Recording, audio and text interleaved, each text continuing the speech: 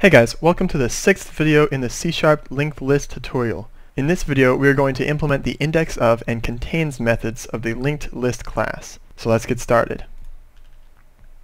So what the index of is going to do is get the index of the item in the list if it contains it, and if it doesn't contain it, return negative 1. So it looks like we will be returning an int.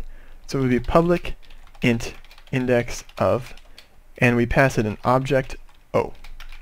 First thing we want to do for this method is get the current node. Actually, it'll be the first node. So the node current will be equal to this dot head. So that is the first node in the list. Then what we are going to do is loop through all of these nodes in the list and check if the current node's data equals the object data that we passed the index of method. That will require a for loop. So let's set that up. For int i equals 0, so it'll start at the beginning of the list, while i is less than this dot count and then i plus plus. So what that does, it's going to loop through all of them until the last item in the list, and after it gets through the last item in the list, it will just exit the for loop.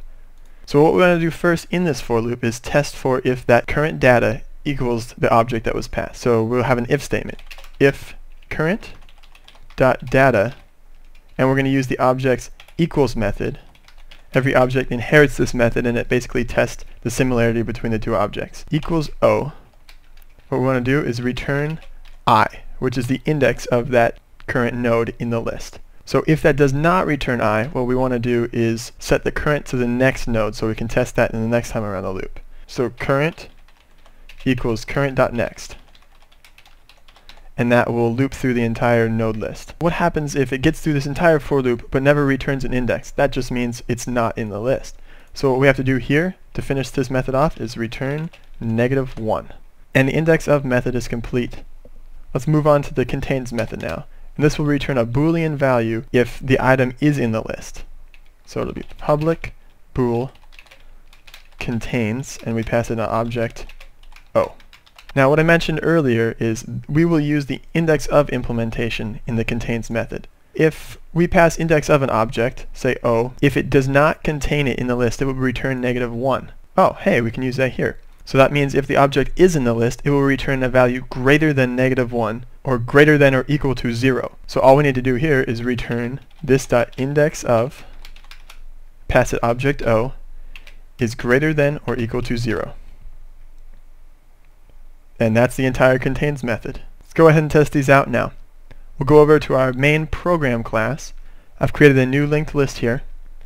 The first thing we're going to do is get an int value, and I'll just call this index, and we're going to set it equal to list.index of, and let's say we want to find the string hello in our list.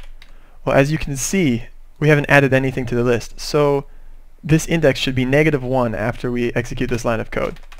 Let's test it out. I'll execute the line of code right now, and index equals negative 1. Good, so far. Let's add the string hello to the list and see what happens after that. List.add and we'll, we'll add hello. Now when we execute this line of code, index should be 0 because this is added to the beginning of the list and 0 is the first element of the list.